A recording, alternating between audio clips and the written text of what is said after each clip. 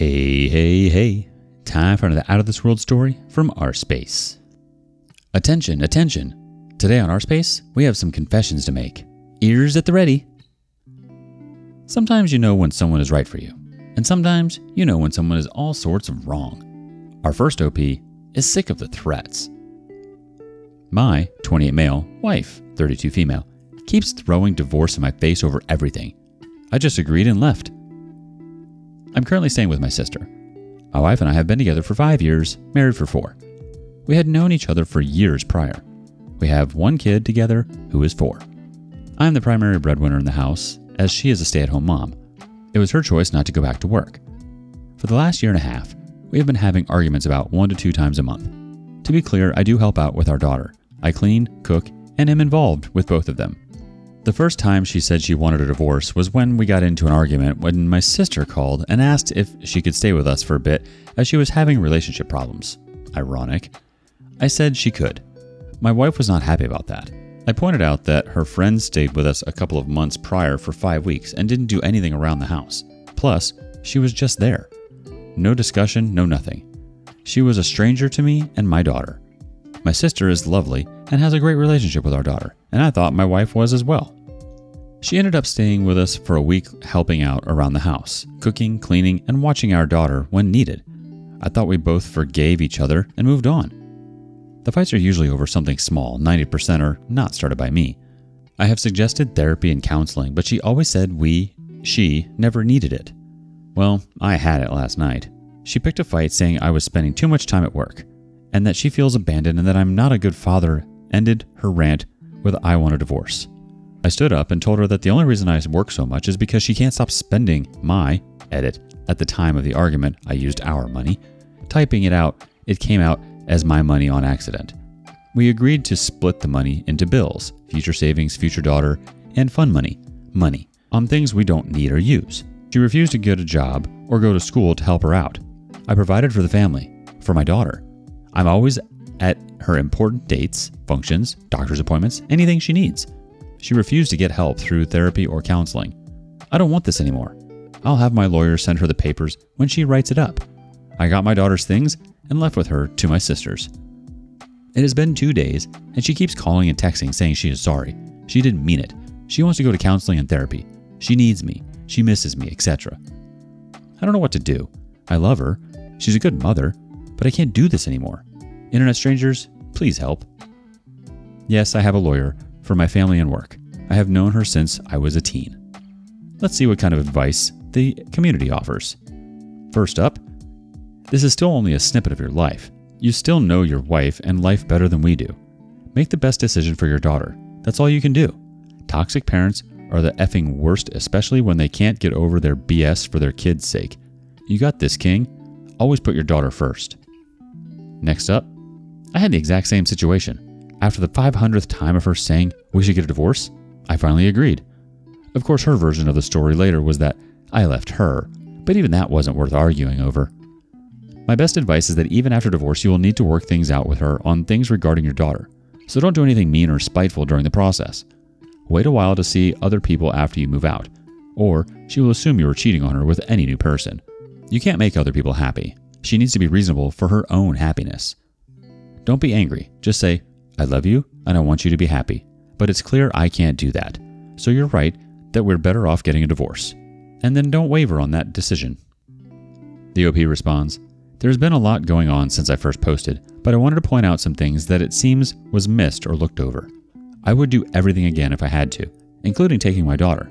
I have pushed her to go out, find a job, get a hobby, meet new friends, and do something, anything. I reached out to people to help out, asked about seeing someone for help. She would not listen or consider anything I have presented. She kept saying no, or she was not the problem. My daughter is my priority. I don't fight with my wife in front of her or around her. I grew up in a bad household. I have been in the position where my dad got angry at my mom. My mom left, and my dad took it out on me. I don't ever want that for her. I don't know what my wife was going to do that night. You can't force someone to get help. They have to want it. Actually want it. If you force someone, they will go through the motions just to make it look like they changed. I'm not blameless in this, but I can't raise my daughter with her thinking this is okay behavior. Or this is how relationships are supposed to be like. I decided when I was young that I would never be like my dad. I think there's a lot of truth here, OP. You can't make other people happy, and you certainly aren't responsible for their happiness. And I think you can handle only so much of someone saying they don't want to be with you and really holding that over your head for so long. That's not a game anyone wants to play. And I understand not wanting to continue that cycle with your daughter. The comments are right. Whatever decision you make, make it in the best interest of your daughter. Update. Hello, all. Unfortunately, this is not a sunshine and rainbows update. Okay, so after I made my post, I had a bunch to think about. I decided that I had to make sure she knew how serious I was. We sat down, and I flat out told her that I couldn't do this anymore. The fighting and the threatening of divorce has to stop. She agreed and said she would not say it. I told her that the next time it was thrown out, it would be the last time. We agreed to go to couples therapy. It was eye opening. Things were said, feelings were brought up, and outside professional views helped us understand the other better. After a few sessions, I thought we were doing better. She started to apply herself more. She looked and obtained a job, made some friends, and got a hobby. This was until an argument started because we had plans in regards to our daughter that she overlooked and couldn't cancel the other plans she had made with some new coworkers. At what I considered the end of the argument, she said under her breath, I knew marrying you was a mistake. I looked at her, and the thing I remember most is how I did not recognize the woman that was standing there. She looked different to my eyes. I didn't know who the woman was in front of me was. I asked her to repeat herself. She said, I should have divorced you years ago. I walked away and took my daughter to the plans alone, just us two. I ended up filing for legal separation. Under the terms we both signed was something along the lines of while separated, we are still legally married and will not get involved with anyone during this time period. Finances will be separated, but bills will stay as currently split. I would still pay for insurance through work. Other things that were in it were therapy sessions would continue both as individuals and couples. I would move in with my sister, and we had shared custody of our daughter 70 me, 30 her. One day, when I had my daughter, I needed my wife to take her. I let her know a week before and she agreed. The morning of at 7:30, I went to drop her off at the house and noticed an unfamiliar car in the driveway. My first thought was, she must have a friend girlfriend over. I go ring the doorbell, out of respect, but still odd ringing your own doorbell, and wait with my daughter when a shirtless man about 20 opens the door and asks who I am and what do I want. I ask for my wife. He calls her, and she comes around the corner in a robe, and her face goes from curious, shocked, horrified, sad. Needless to say, in three months' time, when the legal separation ends, I'm filing for a decree of dissolution of marriage.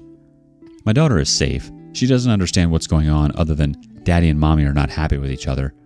As stated above, she is my priority.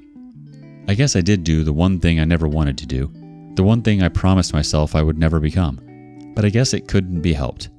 I ended up just like my parents. I don't know what a healthy relationship looks like. I hope I can just show how much love I have for my daughter and raise her the best I can. Thanks for the support, comments, love, and criticism. Let's see how the community reacts. First up, that's effing hard. One day your daughter will know what her dad did to protect her. I hope you find peace in your life, OP. The next commenter says, I'm so sorry, OP. You really did the best you could with what you were given. Don't beat yourself up too hard. ETA, I can tell you from experience that having separated parents is better than having parents that are together but obviously unhappy. Next thought. From what you wrote, I don't think you are like your dad. You didn't do the same thing your parents did. You prioritized your daughter and took her from a household that was no longer healthy for her. I'd say that it's not the matter of knowing how a relationship should look like, but the fact we cannot always force how the people we love will change over time. We also never get to know someone as thoroughly as we think, only the bits they show us. I think you've made the best choice in this situation. The OP replies, I feel like I never knew her. I only know the side of her that she showed me. I just hope I'm doing right by my daughter. Thanks. The comments are right. You did the best you could with the cards you were handed, OP. You can't be the only one working to keep a marriage together. It takes two people. And I think you're far from different from your parents. You know your self worth, and you'd never put your child in a negative situation. You're looking out for her, which is far more than your parents could ever say. What do you think?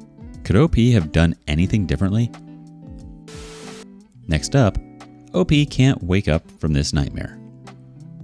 Pandemic locked me in the house with my cheating wife. Full story. I've pondered a lot the idea of me posting this story, and based on the title, I'm sure you realize this story is now closing in on three years old.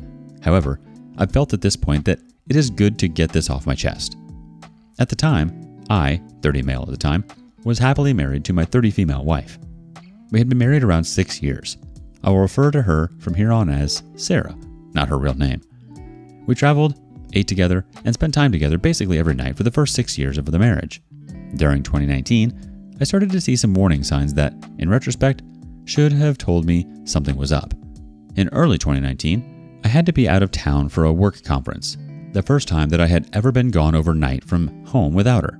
She immediately suggested that her friend might come visit and even stay over those days. Now, for context, this friend, 29 male, I will refer to him as Mark, is someone she texted all the time. They were close friends, and I know for a fact had been intimate with before we met. I put my foot down and said no, pointing out he never came over in six years, except the one time I was gone. While she got mad, she respected my wishes to the best of my knowledge and the scenes from the security cameras. There were other things as well that gave me pause, but for the interest of time, I will move on. Now we arrive at the end of 2019. As we were in a movie theater together, I noticed her writing messages to someone on her Apple Watch during the movie. This was very unusual for her to do, and the messages, although I can't remember them, were a bit strong for a coworker at a new job, but nothing overly sexual or romantic. I ask her about it after the movie, and she brushes it off. Her behavior changes, sitting away from me on the couch, changing in a different room, and so on. I start to wonder am I being cheated on, or what is being hidden from me? I feel tremendous guilt for even thinking about checking her phone for confirmation, feeling that if I do, and I am wrong, there's no point in continuing to be married. After thinking about it for days, I decide to check in January 2020. Now, her phone is always close by, and I don't know the passcode. Luckily, her watch is accessible, and she made the code our anniversary. Irony abound. What I discover next is horrifying. Sarah and Mark discussing her hookups with a coworker, them mocking me for not noticing what is going on. Sarah discussing how the ideas of me touching her is revolting, how she can't imagine having kids with me. We had been trying in mid 2019, so this especially hurt. Then I read the messages between Sarah and the coworker. We will call him Carl. Those messages are explicit, and Sarah shows more affection for him in every way that she shows me now. And each message tells me a new revelation that hurts more. That a trip she had was to console a friend was really so that the friend could meet Carl that she began changing in the bathroom so I wouldn't see the hickeys on her body, that her therapist knows all of this and says I should be made aware, but that she should be happy with whoever. I stay up till 3 or 4 a.m., reading these messages and taking pictures of everything. I don't sleep that night. My jaw clenched so hard all night it caused issues for months. She leaves for work. I'm off that day, and my first phone call is to a lawyer. What are my options? When I confront her, what can I say, not say, legally? I wait for her to come home, reading over the messages to confirm it wasn't the worst dream I ever had. When I confront her, I tell her what I know without revealing I had been in her texts. I tell her I spotted the hickey, a lie, but she mentioned it in the messages, that I know she's texting someone. Sarah lies, tries to argue that it is someone else that gave her the hickey, but finally I read a message from her watch. I guess what I expected was for her to break down and admit everything. Instead, Sarah explodes in rage that I violated her privacy the insanity and gaslighting of trying to convince me that I was the bad guy here blew me away. She stormed out of the house and disappeared for three days. No communication as to where she was, even though I asked her to tell me where she was staying, so I knew she'd be safe. To this day, I only know a small part about where she went or what she did. When she comes back, she tells me she wants to try to fix things and spend some time together. It doesn't go well. I catch her sneaking off to meet with him once again as she foolishly leaves the watch behind and I can read the messages in real time. I finally tell her in February 2020 that I contacted a lawyer. She insists she won't sign anything until we attend a couples counseling. I humor it, but it goes off the rails immediately when, after I explain we're here because she had an affair, that she argues my word choice. Affair was too strong a word? She also lies about the fact that she cheated on me before Carl with a married man, something I discovered at a later date going through her watch once again. She admits her plan was to find an apartment, then hand me papers without me ever knowing what was going on. She even tries to blame the whole affair on me, using, in the therapist's view, minor disagreements as proof of my cold and uncaring demeanor. One example I don't immediately scream at my parents for a Christmas gift she didn't like, or at her parents when they playfully made fun of her. At this point, the decision is made. I need to divorce her, as she will never tell the truth. We agree Sarah will move out of our house, and I even help her find an apartment, anything to get her out of the house faster. One day in March 2020, I watch the news of COVID come in and all construction work stops. Her apartment was almost ready but was being renovated.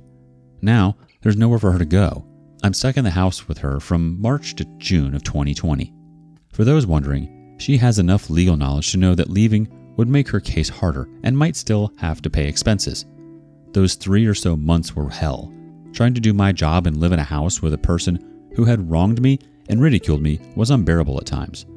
We tried, as best we could, to keep it civil and not scream at each other every time we passed each other.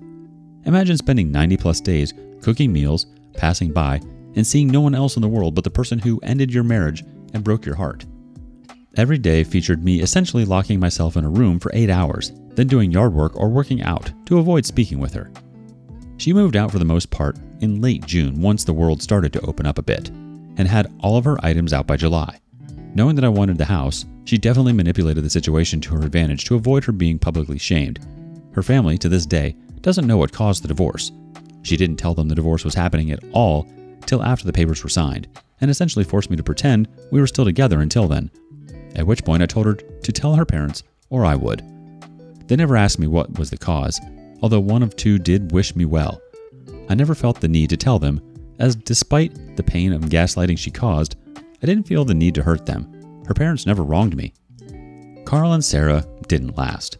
When I found out, Carl told her to leave me and be with him, but she tried to mend our relationship and he walked away from her, so she ended up with no one. Sarah and I rarely speak now unless it's absolutely necessary, which is rare. I wondered at times if maybe I was wrong for not publicly outing our infidelity. The people who are important to me know the truth. I also never confronted or spoke to, for that matter, Carl or Mark, or her friend, who knew about all of this but never warned me. As for me, I found someone who was truly a good person and have a great relationship.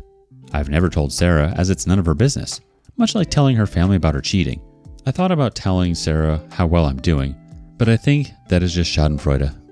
Thanks for reading, and I'd love to hear your thoughts. Ask for some thoughts, the community has them. First up, I applaud you for the way you handled it. I, on the other hand, am an a hole. I would have told everyone why we divorced, every detail about what she did. I did that with my first wife. Glad you are finally truly happy. As for Sarah, I hope she has a miserable existence for the rest of her life. Sorry, not sorry. Next comment says, Dude, you got out and moved on with someone else Getting in contact with your ex wife to rub it in her face will give a few minutes of happiness, but staying no contact and blocking her will give a lifetime of happiness.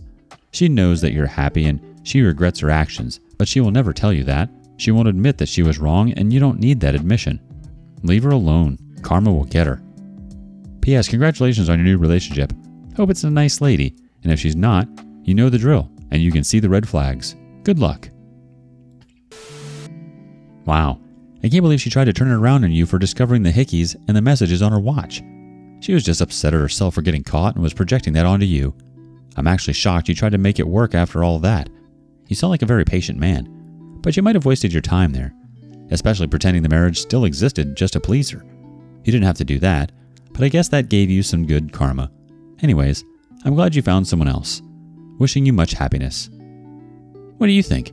Would you have left earlier? Would you have played along and pretended you were still married? Let us know in the comments below. Thank you for joining us on rSpace. Be sure to like and subscribe and hit that notification bell so you don't miss out on our next video. See you next time.